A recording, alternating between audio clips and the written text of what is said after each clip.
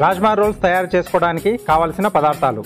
గోధుమ పిండి ఒక కప్పు. ఉడికించిన రాజ్మా ఒక కప్పు. తరిగిన ఉల్లిపాయ ఒకటి. తరిగిన పచ్చిమిరపకాయలు రెండు. అల్లం వెల్లుల్లి పేస్ట్ ఒక టీ స్పూన్. జీలకర్ర ఒక టీ స్పూన్. ఉప్పు. తగినంత ఆమ్చూర్ అర టీ స్పూన్. జీలకర్ర పొడి అర టీ స్పూన్. గరం మసాలా అర టీ స్పూన్. క్యారెట్ తురుము పావు కప్పు. తరిగిన బీన్స్ పావు కప్పు. పచ్చి బఠానీలు పావు కప్పు. నూనె రెండు టేబుల్ స్పూన్లు. నిమ్మరసం కొద్దిగా కొత్తిమీర కొద్దిగా. రాజ్మా రోల్స్ తయారు చేసే విధానం.